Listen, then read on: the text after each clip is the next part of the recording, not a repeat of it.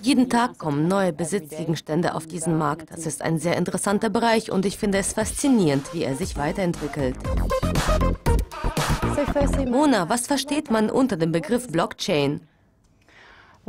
Ich würde sagen, dass dies eine Technologie zur Registerzuordnung ist. Die Blockchain ist eine Art Datenbank, die Informationen enthält, und zwar über alle durchgeführten Transaktionen, und zwar von jedem einzelnen Teilnehmer. Durch Veränderungen erneuert sich dieses System automatisch. Es ist das gleiche wie eine Registerzuordnung mit einer Ausnahme, und zwar, dass die dezentralisierte Blockchain das Register ist, zu dem jeder einzelne Teilnehmer Zugriff hat. Alle Daten können auf den Computer heruntergeladen werden. Manipulationen sind praktisch unmöglich möglich. Gefälschte Daten kann man im Nachhinein nicht mehr verändern.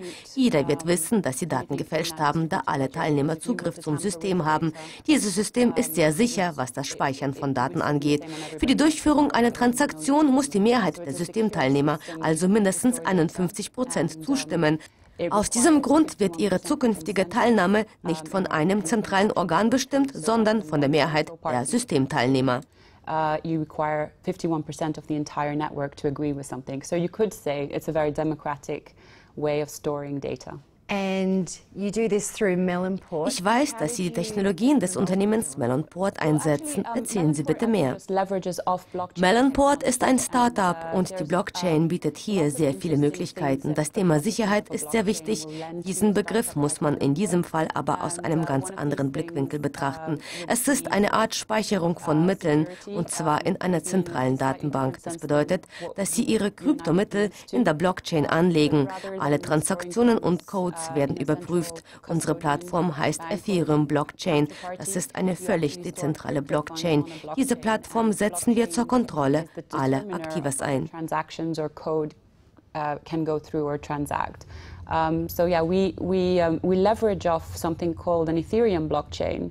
And this is a completely decentralized uh, blockchain, and we use this technology to build a platform for asset management. Mit welchen Vermögensgegenständen wird man auf dieser Plattform handeln? Wir wollen, dass man auf dieser Plattform mit Kryptoaktivas handeln kann. Dieser Markt ist sehr interessant. Ich finde es erstaunlich, wie schnell er sich entwickelt. In den vergangenen Monaten hat sich die Anzahl der Vermögensgegenstände stark vergrößert. Heute gibt es einige Dutzende neue Kryptovermögensgegenstände, welche aktiv gehandelt werden. Die Liquidität dieser Aktivas wächst genauso schnell. Können Sie ein paar aktuelle Kryptoaktivas nennen. Auf der Blockchain-Plattform kann man mit einigen mehreren Kryptovermögenswerten handeln. Die bekannteste Form ist natürlich die Kryptowährung. Der Preis einiger Vermögenswerte ist rein symbolisch. Sie können also mitwirken und Dividenden einholen. Sie können aber Ihre Teilnahme auch in einer anderen Form rückerstatten lassen. Einige Teilnehmer setzen als Kaution reelle Vermögenswerte ein. Das Unternehmen Digist ist ein perfektes Beispiel. In diesem Fall tritt die Blockchain als Garant für das Gold ein. Jeden Tag kommen neue Vermögensgegenstände auf diesen Markt. Es ist ein sehr interessanter Bereich und ich finde es faszinierend, wie er sich entwickelt. yeah, there's there's a lot of new assets coming up every day, and uh, and it's an exciting space now to watch. Auf welchen Wert schätzt man den Kryptobereich ein? Diese Klasse ist sehr volatil. Momentan schätzt man diesen Bereich auf rund 12 Milliarden Dollar ein, während dieser Wert im Jahr 2009 praktisch bei Null lag. Können Sie sich vorstellen, wie schnell sich dieser Bereich entwickelt? Warum will Melonport nicht mit einem gewöhnlichen Fondportfolio arbeiten? Der Start eines Fondportfolios ist sehr zeitaufwendig. So ein Portfolio erfordert sehr viel Einsatz und sehr viel bürokratisches Wissen. Dieser Prozess ist sehr zeit- und kostenaufwendig fertig. Der Service von Melonport ist sehr simpel, während die Kosten minimal sind. Man kann alles machen, was man auch mit einem gewöhnlichen Fond machen kann. So what Melonport aims to do is make the user experience a very, very user friendly, b very low cost, and and uh, and c hopefully give them the ability to do everything they would be able to do in a normal fund. Können Sie Melonport mit drei einfachen Worten beschreiben?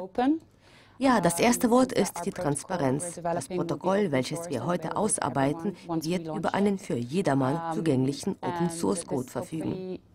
Wir werden mit internationalen Entwicklern zusammenarbeiten. Nur so werden wir unser Internetprotokoll richtig realisieren können. Die Aktivität unserer Entwickler ist ausschlaggebend. Das zweite Schlagwort ist die Konkurrenzfähigkeit.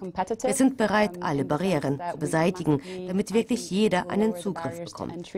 Und das dritte Schlagwort heißt Dezentralisation, und zwar der Sicherheit, während das Vertrauen in diesem Fall immer noch eine sehr große Rolle spielt, vor allem was die Sicherheitscodes angeht. Den Begriff Sicherheit muss man in diesem Zusammenhang aus einem ganz anderen Blickwinkel betrachten. Es ist etwas ganz anderes, als wenn man seine Transaktionen einem Kontrahenten oder einer zentralen Datenbank anvertraut. In diesem Fall übergeben Sie Ihre Codes an die Blockchain. Diese Art von Vertrauen Vertrauen ist etwas ganz anderes. Ich bedanke mich für dieses Interview. Es war wirklich sehr interessant. Ich bedanke mich für die Einladung. Liebe Zuschauer, das war es für heute. Liken und kommentieren Sie dieses Interview bei dukaskopi.tv. Bis bald.